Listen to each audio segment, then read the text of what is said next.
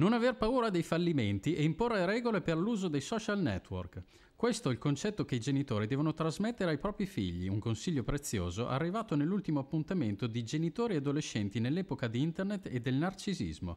Un ciclo di tre incontri nell'ambito del piano adolescenza organizzato dalla Regione Emilia-Romagna in collaborazione con l'Istituto Minotauro di Milano.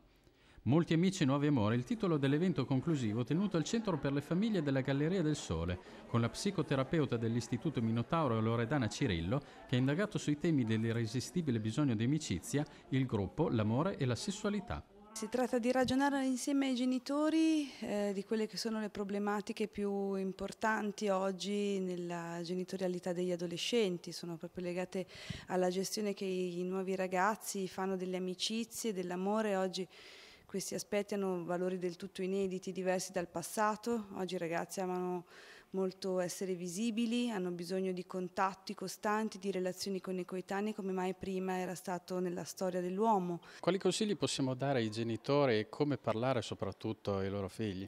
Ma bisognerebbe dire, che i genitori riuscissero un po' di più a introdurre il concetto di fallimento, di disagio, di difficoltà, cioè poter dare degli spazi di parola ai ragazzi su questi aspetti, perché molto più spesso si tende a parlare di successo, di buona riuscita, di prestazione, di performance e si fa un po' fatica a tollerare che ci siano invece delle difficoltà, no? che proprio figlio non sia per forza felice, non sia per forza realizzato, capace di raggiungere alti traguardi.